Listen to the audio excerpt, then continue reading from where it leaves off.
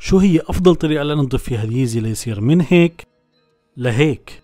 في عنا نوعين مشهورات من الأدوات اللي ممكن نستخدمها. الأول من Jason Markk والنوع الثاني هو ال Crep أنا اليوم راح أستخدم ال Jason Markk. أول شيء بنجيب مي دافية أو فاترة وبنحط عليها سائل التنظيف وبنغطيها وبنرجها لحتى يطلع الفوم. وقبل ما أبدأ بتنظيف ال sneaker راح أشيل ال insole والرباط. وبعدين بجيب الفرشه الموجودة بالعلبة وببدأ بتنظيف ال sneaker. راح أحاول أعتمد على الفوم اللي بيطلع لأنه هو اللي بنظف ال sneaker. وبقدر باستخدام الفوطة المايكرو فايبر اللي بتيجي مع العلبة إني أخفف من هذا الفوم. وبعد ما انظف ال sneaker كامل ببدأ بتنظيف ال insole وآخر شي بحط الرباط بالمي. وهذا شكل ال sneaker بعد التنظيف وهذا شكل ال sneaker بعد ما نشف رجع جديد.